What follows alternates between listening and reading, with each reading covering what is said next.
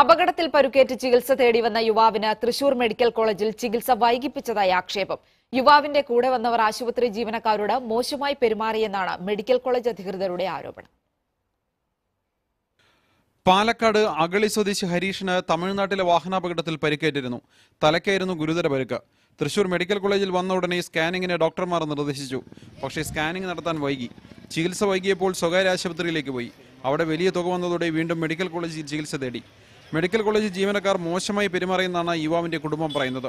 Delay ആവുമെന്ന് പറഞ്ഞതുകൊണ്ട് ഞങ്ങൾ പറഞ്ഞു പേപ്പർ തരും എന്ന് പറഞ്ഞപ്പോൾ ആ ലേഡി കാണിച്ചാണ് പേപ്പർ ഒറ്റ വലിച്ചെറിയൽ അതായത് ഇങ്ങനെ ഇരുന്ന പേപ്പർ ഇങ്ങനെ എടുത്ത ഒരൊറ്റ ഇടല അവിടെ.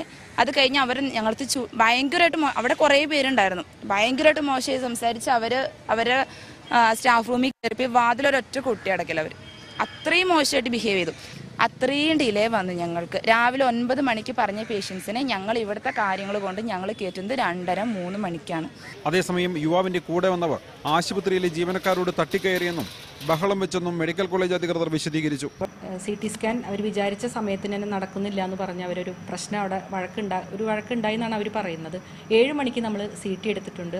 ആ സി ടിയിലുള്ള പ്രത്യേകിച്ച് പ്രശ്നങ്ങളൊന്നും തന്നെ ഉണ്ടായിരുന്നില്ല. എങ്കിലും പിന്നീട് അവരൊരു കുറച്ച് സമയം കഴിഞ്ഞ് വന്നതിന് ശേഷം സി ടി റിപ്പോർട്ട് വാങ്ങി ഞങ്ങൾ ജൂബിലിയിലേക്ക് പോവുകയാണെന്ന് പറഞ്ഞ് ഇവിടെ നിന്ന് ഡിസ്ചാർജ് എഗെയിൻസ്റ്റ് മെഡിക്കൽ അഡ്വൈസ് ആയിട്ട് പോവുകയാണ് ഉണ്ടായത്. ഇതേ രോഗി തന്നെ അന്ന് വൈകുന്നേരം ആറ് അമ്പതോടുകൂടി ഇവിടെ വരികയും വീണ്ടും ഇവിടെ തന്നെ അഡ്മിറ്റായി ചികിത്സ തേടുകയാണ് ഉണ്ടായിട്ടുള്ളത്. യുവാവ് അപകടനില തരണം ചെയ്തിട്ടുണ്ട്.